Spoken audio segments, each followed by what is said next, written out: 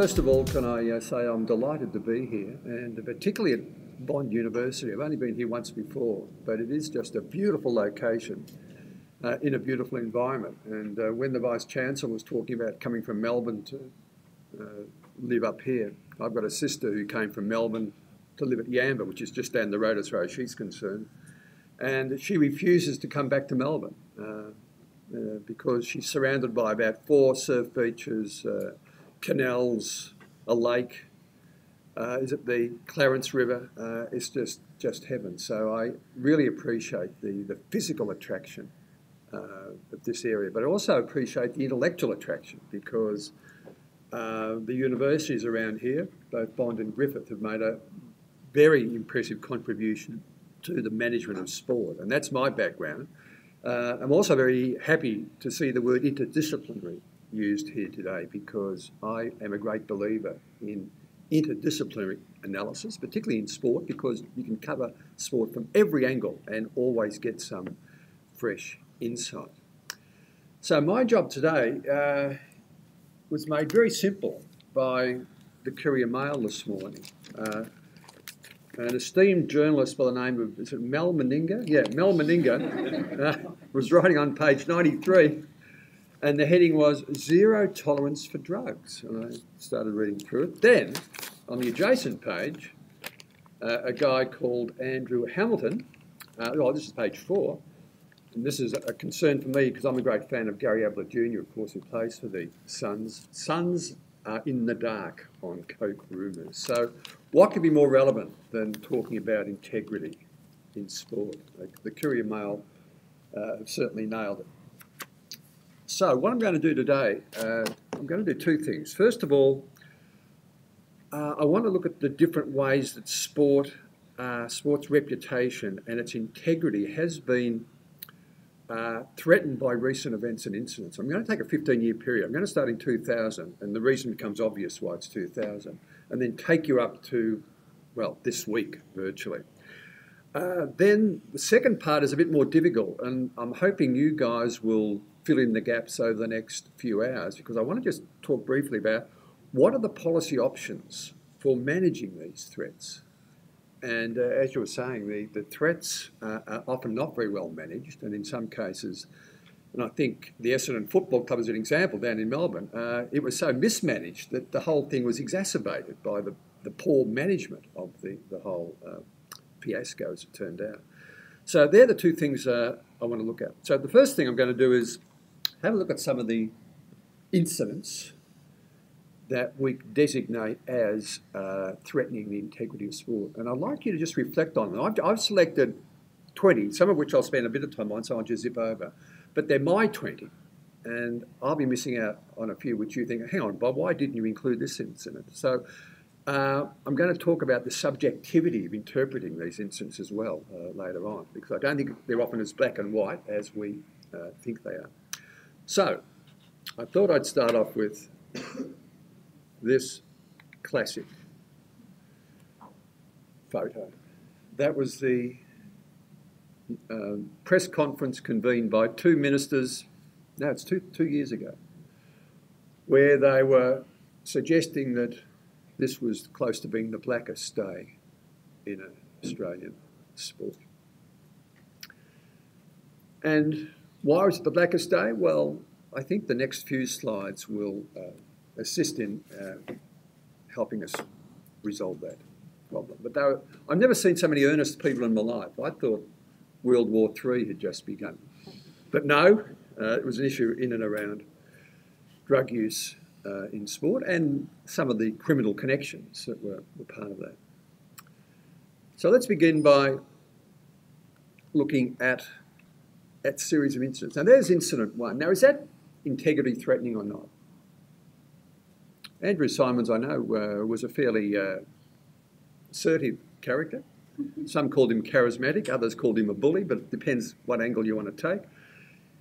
Was that integrity threatening, was that just part of the game? Was that just a bit of gamesmanship that goes on uh, with professional sports people? So I'll leave that one to one side, but then suggest that maybe the next one there's no ambiguity at all. uh, the Hansie Cronje affair of 2000. Now, here was a guy who was completely respected worldwide for his cricket prowess. He was captain of the South African team, one of the best in the world, and yet he was found to have accepted bribes from uh, bookmakers to intervene in matches and to forecast results, as the, the terminology said. And he was banned from cricket for life. And that's where I think people understood that at the elite level, even within the most respected of, of uh, environments, you had corruption occurring. So that's why I chose 2000 because I thought that was a watershed moment for looking at the whole issue of sport integrity and the threats to sports integrity. Now, this is a case that came a little bit after. Maybe some of you aren't aware of this, but uh, I remember doing a study on it. Mark French was a member of the 2004 Australian Olympic track team. And uh, they were in a training camp in Adelaide, and uh, some cleaners found a whole lot of used syringes in a bin in his room. And he was subsequently uh, examined and he was found to have used, or no, to have been in possession but not used. They couldn't provide evidence that he'd used, but he'd been in possession of a growth hormone.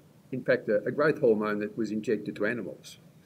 Uh, but they used it for, for, human consumption. And he was suspended for two years. He did appeal uh, on the basis of some flimsy evidence, evidence he got off. But to this day, no one knows what was going on in that room at the training centre. But uh, he claimed that every one of the track cyclists he was training with were using these substances. But nothing has ever, ever happened. Interestingly, uh, the track team achieved its best ever results at an Olympic Games. So that's another, I think, interesting case to, to consider. 2006 was a year which I found difficult to believe this, that this just is, isn't an ordinary group of teams. Juventus just isn't a run of the mill football club. It's one of the world's elite sporting organisations. AC Milan is not far behind. Lazio is also a regular Serie 1 participant. And yet we found a, a just a complete and comprehensive scandal in and around betting and match fixing. Uh, the Juventus manager Luciano Moggi was given a life ban. Lazio was banned from the UEFA Cup. Uh, and Juventus was initially relegated to Serie, B, uh, Serie C, but then on appeal got back into Serie B. Uh, so you had this overwhelming sense that Italian football was corrupt at every level. But as you're saying, sometimes things are forgotten, and Juventus back, is back playing well and back playing, I think, in the Champions League too. So that was a, a major crisis of confidence uh, in sport. Uh, this one, I, I, didn't quite know how to deal with this, but again, I think there's evidence to say that incidents like this also threaten the integrity of sport. Uh, and a young New Zealand girl, after I think I've said there's seven years of emotional agony, decided to go public and report that she had in fact been gang raped by a number of NRL players, which was, and to be fair to Matthew Johns, he, he wasn't part of that. Uh, she apparently had consensual sex with him, but it degenerated into a gang rape situation in her mind. Uh, I wasn't sure quite what happened in the end, but Johns was temporarily suspended from uh, the footy show. I use the term show loosely when having watched the footy show. I suppose it's a show. But... So, how do we deal with that as a threat to sports integrity? It's not match fixing, it's not doping, but it does, for a lot of people, sully the reputation of the sport. And the NRL, as we well know, uh, is very adept at bringing up these problematic issues with the behaviour of players. Then, of course, we had the, the Pakistani cricketer spot fixing incidents. And this is where the idea of spot betting came into prominence because now it wasn't a matter of fixing the match, but it was a matter of fabricating or contriving a, a microscopic result within a match. And uh, it was found that uh, a number of Pakistani players had been um, incentivised, if you like, to underperform at certain parts of the game. And uh, they were found to have uh, done this and they were banned from playing international cricket. And in fact, there were two criminal sentences given to two of the players. And that brought international cricket certainly into disrepute. And again, these were elite players. Are the very best of Pakistani cricketers involved. And I hate to say this because I became a fan of the Melbourne Storm in their glory years. Um, and unfortunately, a, a, guy who used to manage the St Kilda Football Club took over as the manager of the Melbourne Storm Football Club and decided that the salary cap was there merely to breach rather than to uh, adhere to. And unfortunately, uh, there were breaches between 2006 and 2010, and the NRL came down on Melbourne Storm like a ton of bricks. And I don't think this had ever happened before, where a club had been stripped of its premiership cups and fined at least $2 million in the process.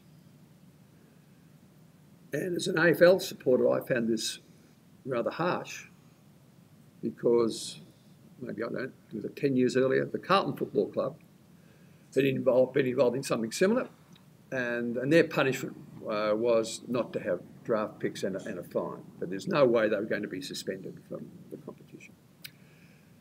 But again, this is clearly an example of a sport under threat. Its integrity, its goodwill, its good name is being threatened at every turn here.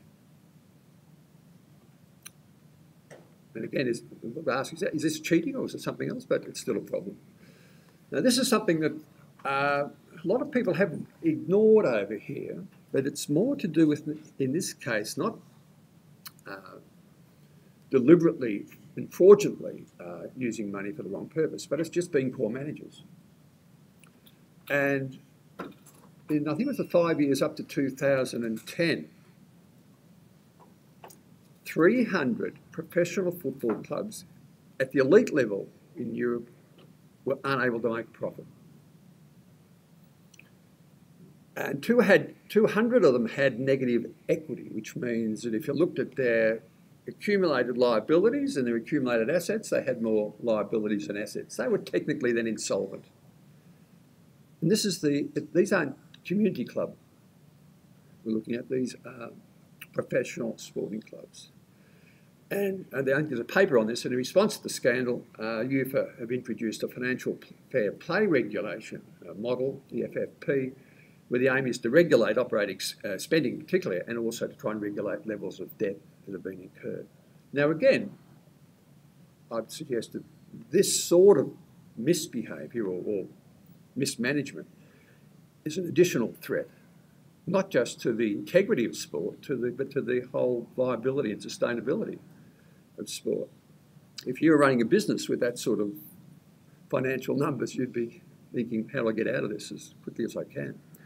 But in sport, and particularly in football, uh, it seems to be par for the course. Now, I've done no work on this yet, but if you were to look at the A League in Australia, some of you would say, oh, the A League's progressing very well, crowds are up, it's getting enormous uh, media support. But I think only one club is able to sustain its operations without the support of external funding. So, how does the league talk about sustainability if most of its clubs cannot meet their uh, operating expenditures? Is that a threat to sports integrity?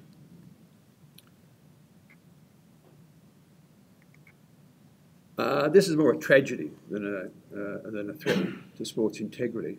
But it's happened before, uh, and I'm afraid to say it happened again only a few weeks ago in, in Egypt. In 2012, there was a riot um, in a match at Port Said. 74 fans were killed in this riot. Uh, it was a bit more complicated than, than, was anticipated because there was a political dimension to it. Police were implicated, uh, together with a, a, military council that assumed power. But who knows what happened, but it happened and it decimated uh, the national Egyptian Soccer League for a time. So is that a threat to integrity or is it just bad luck or poor management? Well, it's clearly a, a major threat to the whole sustainability of the competition when that sort of incident happens.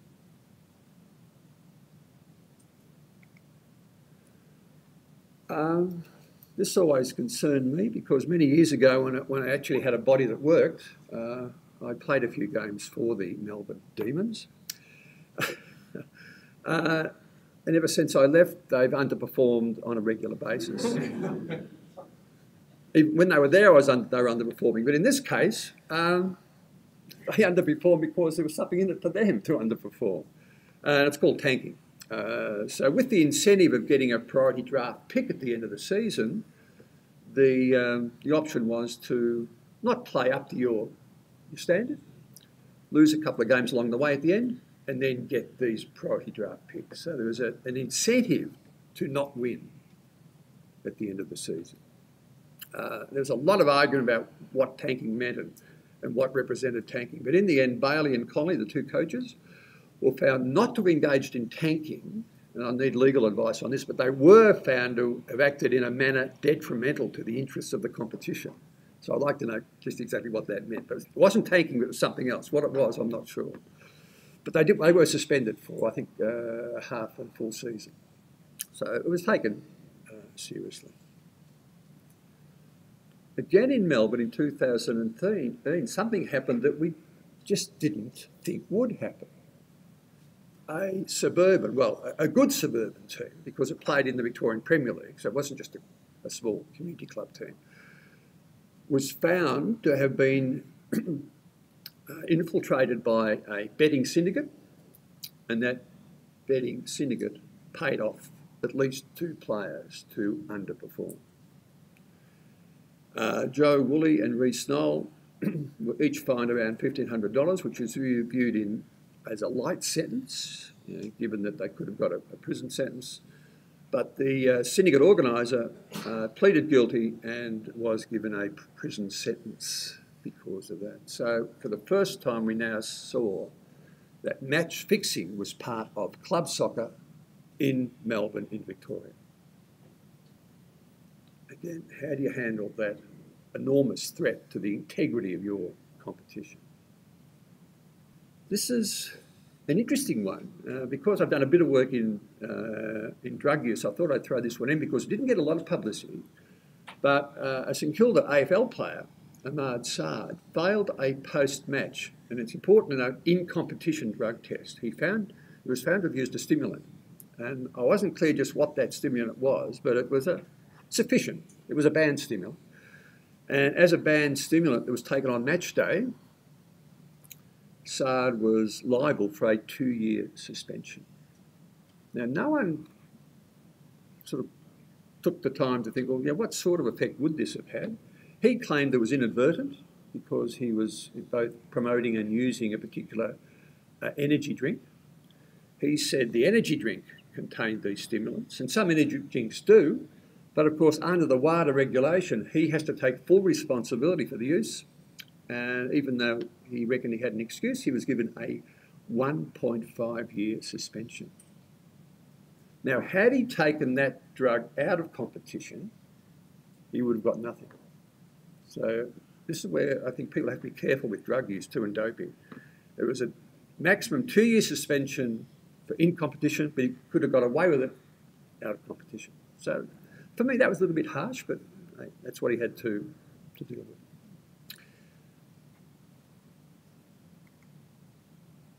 Now, this was a tragedy. I don't know whether you remember this, going back, uh, well, over two years now. This is a, an ultra marathon event uh, in the Kimberley in uh, Western Australia. And there was a bit of burning off uh, and there was the potential for a lot of fires. It was very hot, and a number of athletes were severely burned. Some were close to death. I think three were close to death, and they've had to deal with just massive burns. It was just a tragedy all, all round. Uh, there was a committee of inquiry. The Western Australian government dealt in detail with the, the case and found that the event had been effectively mismanaged. There was no risk management plan in place for the eventua eventuation of a fire. Uh, the country fire authority there hadn't even been consulted. It was a complete mess. And in the end, there was a massive threat to this event's credibility uh, and integrity. So this whole area of risk management clearly becomes another uh, threat to sports integrity.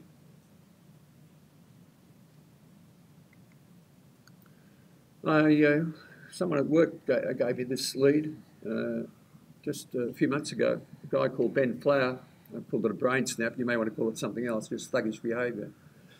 Uh, between Wigan and St Helens in the uh, rugby league, he decided it wasn't enough to knock someone out when they're both in the uh, vertical position, but also do it when the other player was in the horizontal position. So when the guy was down, he continued to thump him uh, uh, while he was unconscious on the field of play. Now, if something, if that's not threatening the integrity of a sport, then what is? This guy was suspended for six months. Uh, and some people thought this was a massive let off. This guy should have been given years, maybe life, for such a despicable act. And again, if I take you back to the Ahmad Saad one with stimulants on the day, he got 1.5 years for taking a stimulant that may or may not have impacted on his performance. This guy gets six months for brutally attacking uh, an opponent. So I'll just get you to think about the equity of those two cases. And this is, this is again hard to believe, isn't it? This case, Ray Rice, uh, a champion player with the Baltimore Ravens NFL team, was found to have knocked out a woman, as it turned out, his wife, not just anybody, his wife, unconscious in an elevator, and then proceeded to drag her out as if nothing had happened. Uh, this was all found out, it was recorded, and his employment arrangements were immediately terminated. But as well as that, though, it ignited a, a nationwide debate about domestic violence and sexual assault and the link that it may or may not have with professional sports people and athletes. And this is something we may want to talk about as well. Is there evidence to say that in professional sport that these sorts of behaviours are more or less prevalent? I don't think there is at the moment, but uh, some people believe intuitively this might be the case. And I could go on. Uh, down to number 20. So the Qatar, uh, we all know, well, Australia spent, I think, millions on trying to influence uh, this event too. Qatar did. Down in Melbourne, uh, and I think it was maybe across Australia too, um, there are allegations that trainers had administered cobalt, which is a banned substance that can increase uh, endurance for their horses. That's now being looked at as we speak. And again, I saw an interview, it was on BBC World, I think, where Lance Armstrong said that if he had to do it all over again, he would have doped anyone. So that's how he saw it. Given the circumstances, he would have doped. And that uh, disgusting use of live bait by greyhound racing trainers to, again, incentivise their, their dogs was also uh, something that I think has nearly destroyed the reputation of greyhound racing in Australia. I think most of you would have seen that Four Corners documentary. To see those piglets up there as live bait uh, was just absolutely disgusting. And as we speak, and it's good to be here, this is the place where it's happening at the moment, on the Gold Coast.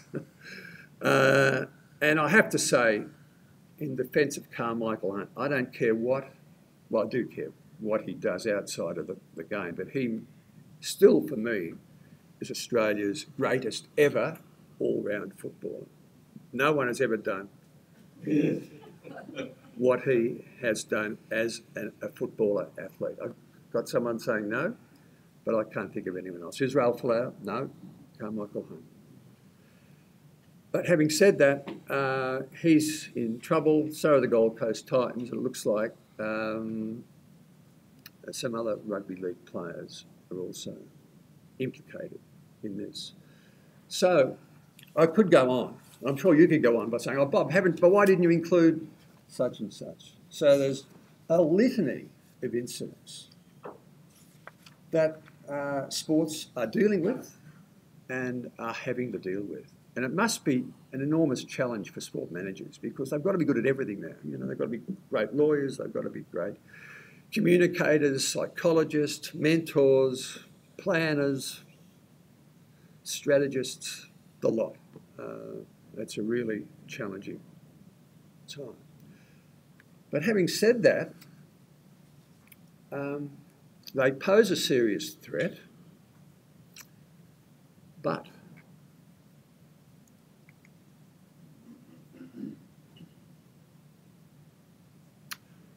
what I wanted to get you today was to just reflect for a little bit on what we mean by integrity in sport.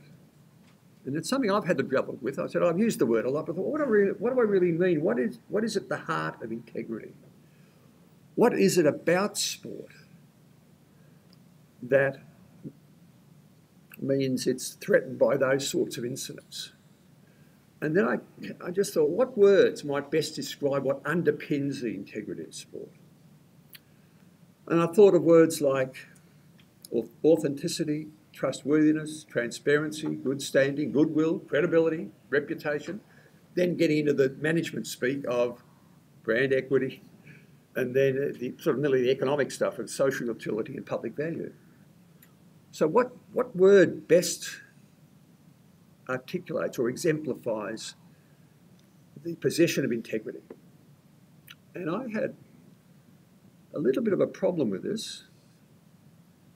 Uh, but I ended up using or, or, focusing on two words authenticity and credibility.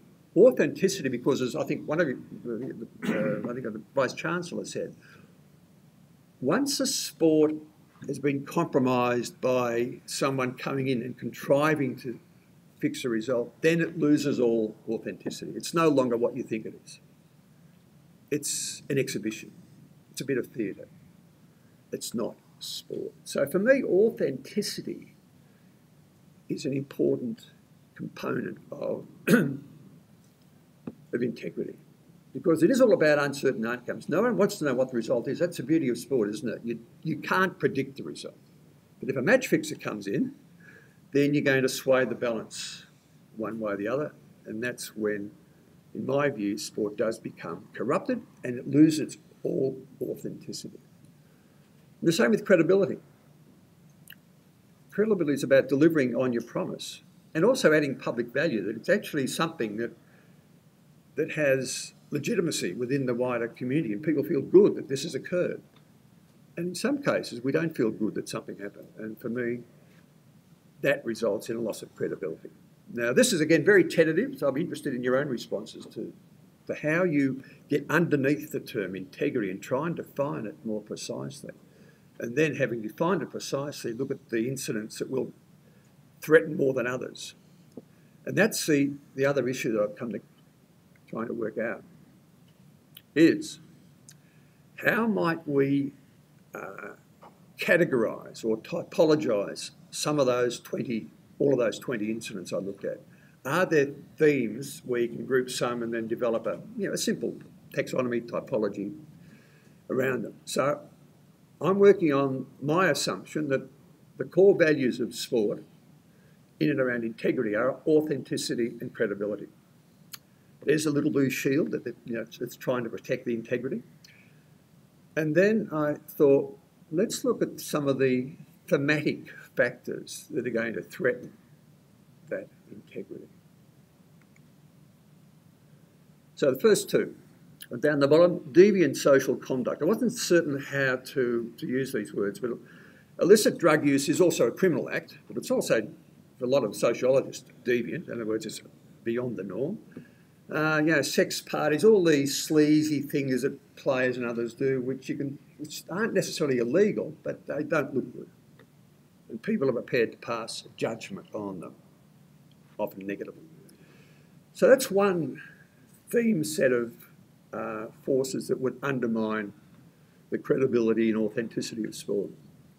The second one, as I mentioned, I've called derelict financial management, overspending, salary cap violations, and all those sorts of things to do with the management of money and the use of that money in a sport setting. So there are two, but there's, I've identified five more if you like, that's just the beginning. And of course, you have to mention what I've called the overperformance, where athletes do things to gain an advantage, and doping is one of them, but using particular new technologies that might be available to you and no one else can also give you an advantage. So something that gives you a performance advantage that isn't available to others. And doping falls within that. So clearly there's a problem with doping.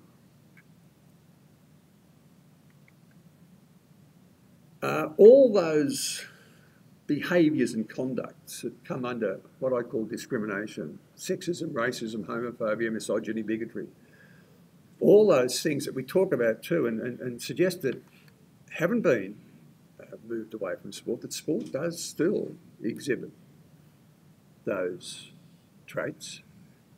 And if it does, then its integrity is being undermined. As soon as this comes to the surface, then sport has to deal with it. If it doesn't, its reputation gets sullied. That's four. Uh, the fifth one, fifth and sixth, sorry, uh, player and spectator violence. Uh, Australian sport hasn't operated at the scale that European sport does when it comes to spectator violence, but uh, it's there.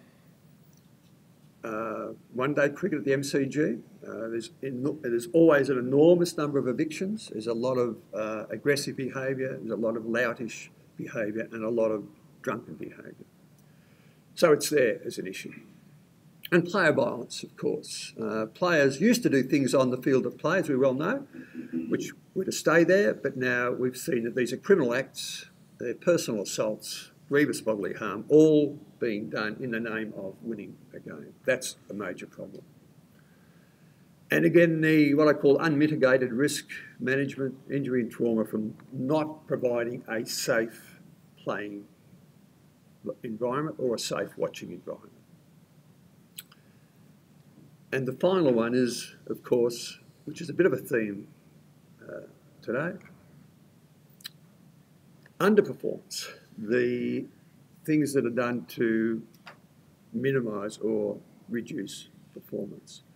So for me, there, so it gets a bit more complicated than we think. There's for me the seven categories you could use initially to better understand the way in which the integrity of sport is being threatened by a whole range of, of forces and factors and, and conduct.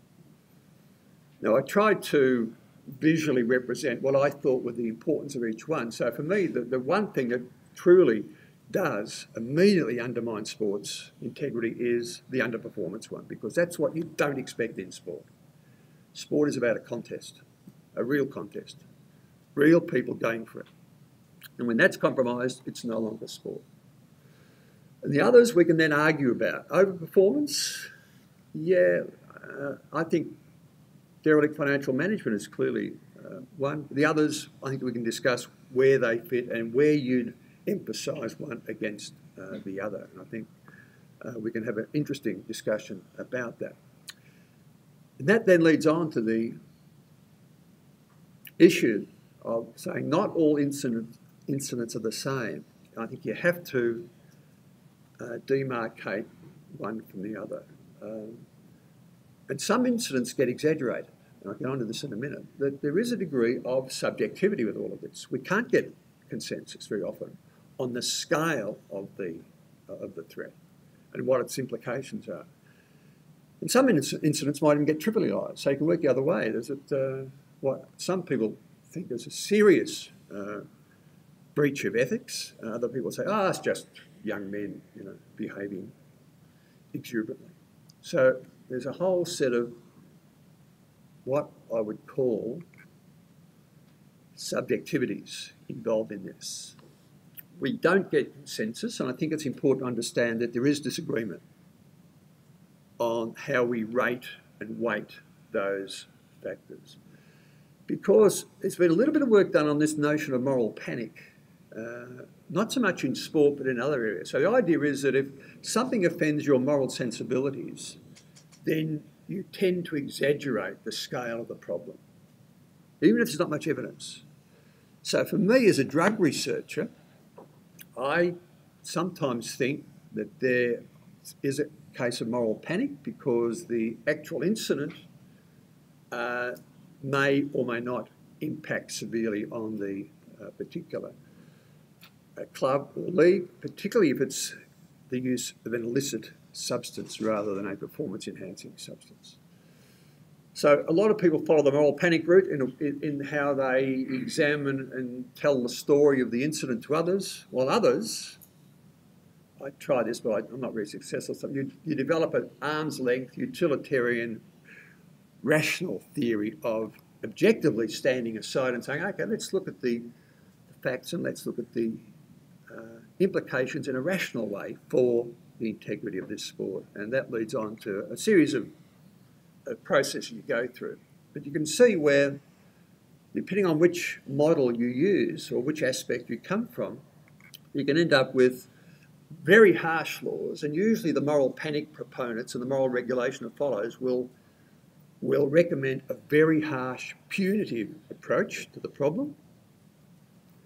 While those who try to be impartial, objective, often in a very calculating way, but maybe too calculating, may work for a rearrangement of the regulations, but also one that tries to uh, not punish, but rehabilitate or re educate or re socialise the offenders. So, I'm suggesting that sports integrity and good standing can no longer be taken for granted. I think we all agree on that. There's so much happening that's threatening it. The problem cannot be solved by wishing it would go away. The problem can only be solved, in my view, by or through regulation of some sort. And this is where I'm very vague. The question then is, well, what sort of regulation do we need? What form should it take? And at the moment, I think there's a divide between what you might call the hard line zero tolerance this is Mel. What did Mel say? Ah, there he is. Zero, Mel wants zero tolerance. Okay, that's, that's his view. But there's also an alternative, so sometimes critically called a soft response, which is all about harm reduction, re-education, re-socialisation. That you don't punish the daylights out of someone, you actually go in and try and re-socialise the person and the instigators or you go somewhere uh, in between. So, at a minimum, sports integrity can only be assured if the following conditions are met. So, very briefly, these are just ideas that came to my mind. You need law abiding and trustworthy governance. So, governance is a key here. We've all talked about governance. You need strong, effective, and professional governance. I've used the word trustworthy there. You need ethical and accounting management, accountable management. Um, maybe just professional management, you know, people who are actually are skilled in the technical capability of managing. I know in sport, you, one gets concerned with the way in which uh, people who purport to be managers actually do organise their club association. Transparent decision making. Now, I think this is, for me, absolutely essential. Now, I don't want to be too critical of Football Federation Australia and its A League. But if you want to do any analysis, any financial analysis of the A League and the FFA, you can't. Why can't you? Because the data doesn't exist. The FFA hasn't published an annual report since 2009. So, how can you do any analysis of FFA and its financial arrangements if the financial report is not publicly available? Now, it must be somewhere. Uh, and again, because I think most of the clubs are privately owned, it's very difficult to access the financial statements of the members of the A League. So, if you want to do a financial analysis of the A League and look at its financial liability, you can't because the data is not available. It's there, but for some reason or other, FFA decide that they don't want the public to know. Okay, fair enough. Is that good for the integrity of a sport? I don't think uh, it is. And again, these words that I've tried to sort of move around authenticity, credibility, fair play, inclusion, equity, and social justice may need to be built in to the mission and vision statements of sporting organisations. And maybe organisations need to, and some have already, uh, actually create and establish integrity units within their organisations to better deal with these sort of incidents we've uh, examined. So to end, uh, I'm certain this is just the beginning. I'm hopefully just putting these out as uh, ideas for you to think about. But today's conference will give us many valuable guidelines for handling the many incidents, crises, and scandals that threaten sports integrity. And I've just mentioned a few, and there's another one that the NFL have been dealing with. Thank you.